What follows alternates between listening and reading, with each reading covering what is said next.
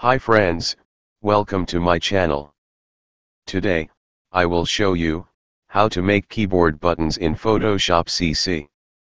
We can start now, click on Custom Shape tool, or press keyboard key, U. If that tool is not showing press Shift plus U, until showing the Custom Shape tool. On top of the screen select Shape, next select Color Gray, and Border 0.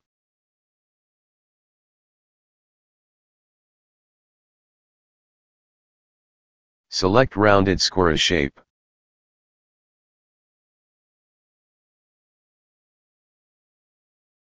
Draw one shape.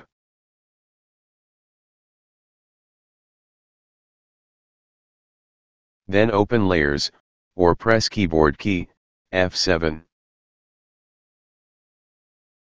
Right-click shape layer and select blending options. Check bevel and emboss, then click on bevel and emboss also. Change depth 1000%.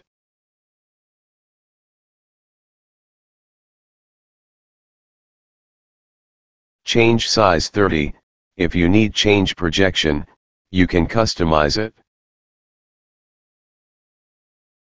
Soften change to 0, then click OK. Now button ready, I need to convert Win button.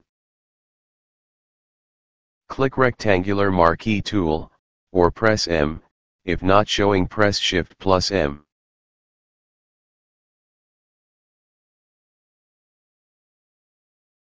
Open layer, and make new layer. Open Edit tab select Fill, or press Shift plus F5, then fill color white.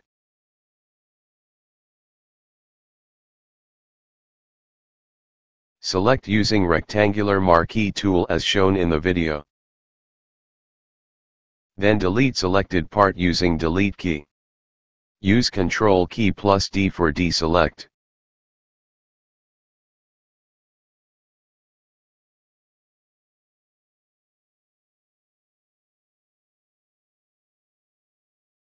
Press Ctrl key plus T, then hold Ctrl key make shape as shown in the video.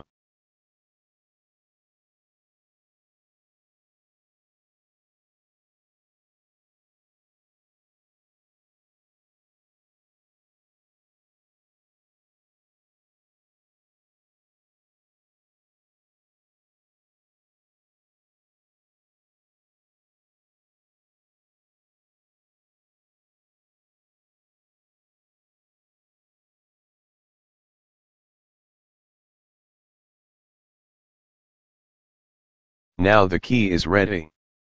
I need one more key, Control. Hold Control plus Alt key add drag to make new copy of the key. Select Type tool, or press T, then select Font Arial.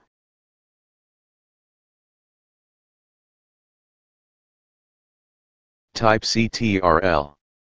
Change color black, and move to top of the key, make change color white.